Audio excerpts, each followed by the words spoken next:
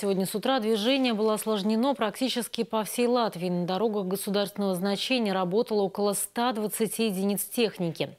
Особенно затруднено движение было в столице. В департаменте сообщений Рижской думы признали, что некоторые улицы не были убраны в соответствии с требованиями.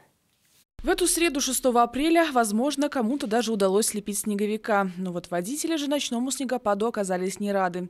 Предприятие «Латвия Свалсцели» рассказали, что движение было осложнено на всей территории Латвии, за исключением района Лудзы. На главных дорогах страны работали 120 единиц техники.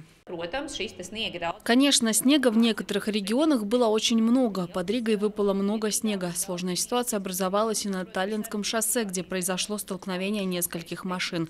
Мы не привыкли, что зимняя техника работает в начале апреля. Из-за аварии участок Таллинского шоссе был закрыт несколько часов. Дорогу заблокировала грузовая машина. Объезд осуществлялся по другой дороге.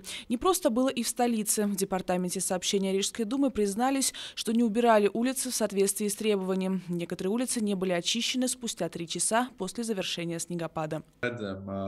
Мы видим в GPS-отчетах все места, которые были убраны и обработаны. В этом сомнений нет. Вопрос в том, что многих мест на GPS нет. Мы оценим, был ли это человеческий фактор или другие обстоятельства.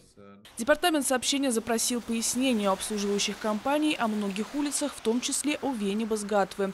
В госполиции говорят, что до 14 часов в Латвии было зафиксировано 98 происшествий. Обычно столько происходит за сутки. В 12 авариях пострадали люди. Виктория Пушкила-Отто, Давид Фрейнденфелд, Марис Юргенсон, Rus LSM, Латвийское телевидение.